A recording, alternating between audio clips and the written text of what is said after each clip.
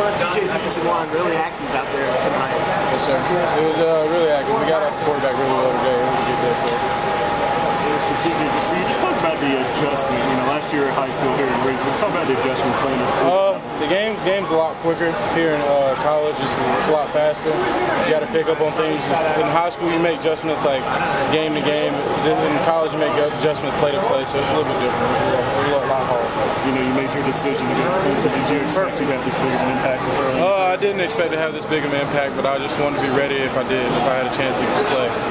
You know, I mean, sorry, How many family friends did you have out here tonight? Uh, I got 16 tickets, and I had uh, probably about 13 other friends that just got to have season tickets already that were coming in. And it's just for you. What do you think you need to improve on to take the game to the next level? uh, I probably I need to pick uh, improve on uh, probably my weight and just a little bit of my athleticism. A little bit. I'm a uh, I fall a lot, so I'm just I just need to work on my game a little bit, technique wise. Just talk about playing, you know, close to home.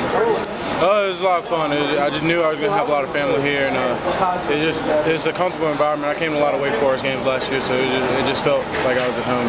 You know, for you putting on that, you know, what uh, Clemson jersey, what's that feeling like? Uh, it feels great every time. It feels, you just get a rush every time you put on a jersey. You get ready to prepare for the game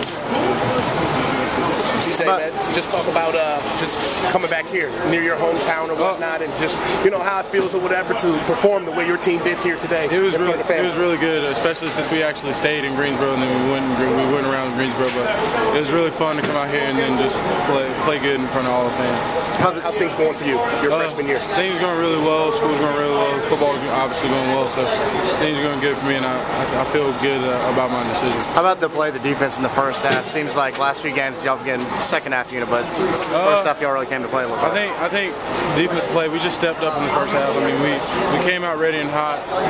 They were undefeated on uh, Thursday night games. We just we had a mindset that we wanted to. I mean, obviously you hadn't been around for any of the Thursday night games, but how big, how much of a confidence booster is for the team to kind of get that uh, cat off your? Oh, it was good. We were coming off a short week, short rest period, so I mean, it was a good confidence booster for us to go ahead and win this game.